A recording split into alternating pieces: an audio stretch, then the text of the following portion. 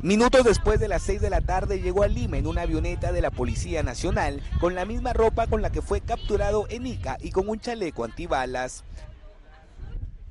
Esta persona, Alba Mendoza, llega desde Ica, fue capturado, según tenemos entendido, a las 10 y media de la mañana, no habría puesto resistencia, continúa con la misma ropa que vestía en Ica y ya camina custodiado por los agentes para ser trasladado al vehículo que lo llevará finalmente hasta la sede policial de la avenida España.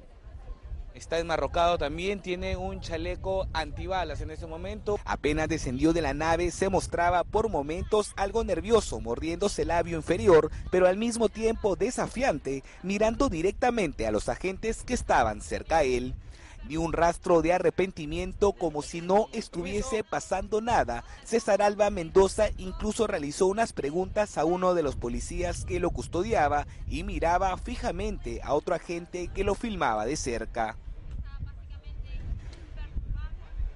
Una camioneta oscura esperaba por él. En ella varios policías eran los encargados de resguardarlo durante su traslado a la sede de la Dirincri. Allí otro cordón policial evitaba que medios de comunicación y curiosos se acerquen a él.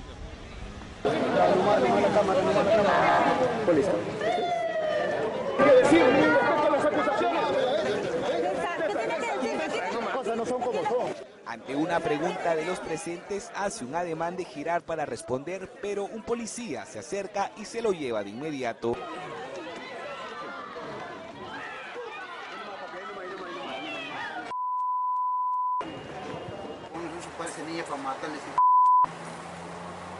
Está mira, ¿no? Otro vida. Oh. Motro. 5 y 58 minutos a esta hora nos enlazamos con Andrea Chavarri. Ella se encuentra en los exteriores de la Dirincri, donde ha pasado la noche el asesino de la niña Jimena de 11 años. Andrea, muy buenos días. Buenos días.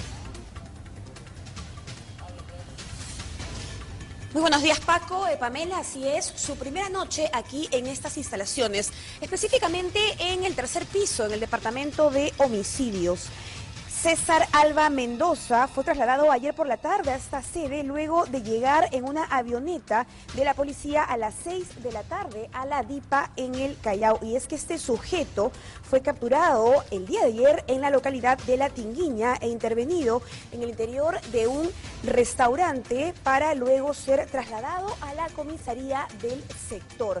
Él llegó a estas instalaciones en horas de la tarde para eh, pasar por el interrogatorio donde finalmente confesó que lamentablemente había asesinado a esta menor de 11 años en el distrito de San Juan del Urigancho. Y justamente en el marco de estas investigaciones que se siguen dando es que hoy, en las siguientes horas, no se sabe todavía el, momento específico, él va a continuar con las diligencias de ley, pasar, digamos, los exámenes eh, de ley y también la reconstrucción del caso. Hay mucha expectativa ya por parte de la prensa, compañeros, porque pues además este caso ha sido eh, bastante ha indignado mucho a la opinión pública y justamente estamos viendo en pantallas eh, los vehículos que eh, van a trasladar a este sujeto y también a la policía que eh, lo tiene que resguardar. Resguardo bastante fuerte que se aplicó también el día de ayer cuando él llegó a las instalaciones de la Dirincri porque cuando estuvo en Ica, pues la gente, debido a su indignación,